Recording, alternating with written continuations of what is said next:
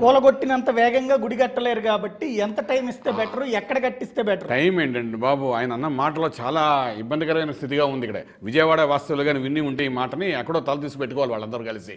సమయం ఒక సంవత్సరం ఇచ్చారు ఒక కమిటీ పెట్టారు ఒక పద్ధతిగా ప్రతి నిర్మాణానికి ఒక planning designing programming theme goals పెట్టుకున్నప్పుడు దేశ రాష్ట్ర ప్ర- ముఖ్యమంత్రి గారు లాంటి వాళ్ళు అక్కడ నగరానికి సంబంధించిన మీరు కార్పొరేటర్గా ఉండి ఇవన్నీ ఉన్నాయి పెండింగ్ వర్క్స్.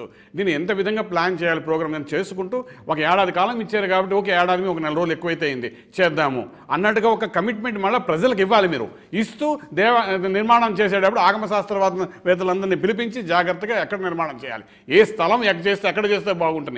వాళ్ళతో కలిసి చేయాలి మీరు. అంతే తప్ప ఇక్కడ నేను కూర్చున్నాను మీరు వస్తారా స్థలం చూపిస్తారా సాయి గారు వస్తారా స్థలం చూపిస్తారా? మీరు అక్కడ కార్పొరేటర్గా ఉండి మీరు అక్కడ ఉన్న ఎంపీ గారు అక్కడ ఉన్న ఎమ్మెల్యేలు మీరు చూపించిన స్థలం మేము చూపించగలగాలి అక్కడికి వచ్చి. తప్ప అలాంటి మాట్లాడుకోవడం మేము అడిగాం కదా అని మీరు తీసుకొచ్చి చూపిస్తారా అని కూడా చాలా పొరపాటు అనమాట. నేను చెప్పేది ఏంటంటే ఆగమ శాస్త్ర ఆగమ శాస్త్ర వేద పండితులు పండితులను పిలిపించాలి. వాళ్ళ స్థలాన్ని అంటే ఎక్కడున్నా చూపిస్తారు.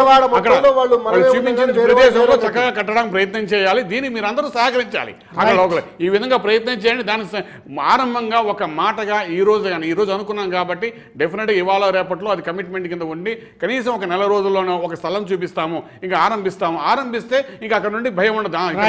నమ్మకం ఉంటుంది. ఆ విధంగా చేసే ప్రయత్నం చాలా బాగుంటుంది. మరొకసారి చెప్పగలుగుతామండి.